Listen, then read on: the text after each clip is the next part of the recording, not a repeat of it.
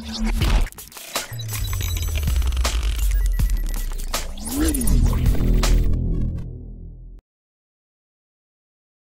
Friends sports பற்றின செய்திகளை உடனுக்குடனாக தெரிஞ்சுக்கொள்ள நம்ம தமிழ் கிரிக்கெட் சேனலை சப்ஸ்கிரைப் பண்ணுங்க.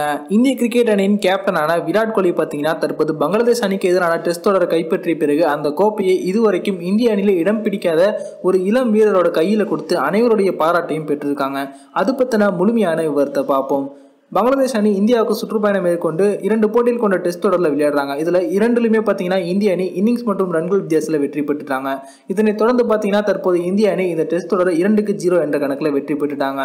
இந்த தொடரில் பார்த்தீங்கன்னா இந்திய அணியின் விக்கெட் கீப்பரான வித்திமன் சகாவுக்கு மாற்று விக்கெட் கீப்பராக ரிஷப் பண்ட் அவர்கள் இருந்தாங்க. ஆனால் அவங்க இந்த போட்டி முடிவதற்குள்ளாகவே பாதியிலேயே அணியிலிருந்து விடுவிக்கப்பட்டாங்க. காரணம் என்ன அப்படின்னா இந்தியாவின் உள்ளூர் தொடரான முஸ்டக் அலி டிராஃபியில் ரிஷப் பண்ட் அவர்கள் தன்னுடைய சொந்த அணியான டெல்லிக்கு விளையாடுவதற்காக அணியிலிருந்து விலகி கொண்டாங்க. அதே போல சுப்மன் கில்லும் அவர்களும் தன்னுடைய சொந்த ஊரான பஞ்சாப் அணிக்கு விளையாடுவதற்காக விலகி கொண்டாங்க அப்படிங்கிறது குறிப்பிடத்தக்கது. இதன் காரணத்தினால விருத்திமன் சகா அவர்களுக்கு ஏதேனும் காயம் ஏற்பட்ட ஒரு மாற்று விக்கெட் கீப்பர் தேவை அப்படிங்கிறதுக்காக ஆந்திர அணியின் விக்கெட் கீப்பரான கே எஸ் பரத் அவர்கள் இந்திய அணியில் மாற்று விக்கெட் கீப்பராக சேர்க்கப்பட்டாங்க.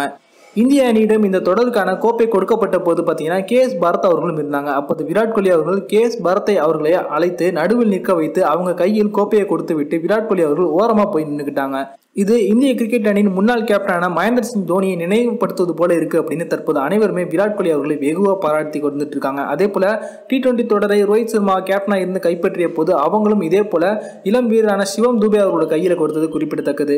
இந்திய அணியின் முன்னாள் கேப்டனான மகேந்திர சிங் தோனி உலக கோப்பையாக இருந்தாலும் சரி எவ்வளவு பெரிய கோப்பையாக இருந்தாலும் சரி அவங்க அதை வாங்கிய பிறகு பார்த்தீங்கன்னா அணியில் உள்ள இளம் வீரர்களோட கையில் கொடுத்து விட்டு அவங்க கடைசியில் ஒரு வீரராக போய் நின்றுக்குவாங்க அதே போல தான் தற்போது விராட் கோலி மற்றும் ரோஹித் சர்மா இவங்க இரண்டு பேருமே கேப்டனாக இருக்கும்போது வின் பண்ற கோப்பைகளை எல்லாம் இளம் வீரர்கள் கையில் கொடுத்துட்றாங்க. இதற்கெல்லாம் முக்கியமான காரணமே தோனி அவர்கள் தான். அப்படின்னு தற்போது ரசிகர்கள் அனைவருமே தோனி மற்றும் விராட் கோலி ரோஹித் சர்மா என அனைவருமே பாராட்டி வந்துட்டு இருக்காங்க. இந்த வீடியோ உங்களுக்கு பிடிச்சிருந்துச்சா லைக் பண்ணுங்க ஷேர் பண்ணுங்க. நன்றி.